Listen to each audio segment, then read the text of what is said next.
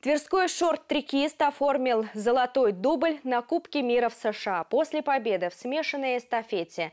Даниил Ейбок в составе российского квартета завоевал золото и в мужской эстафете на 5000 метров.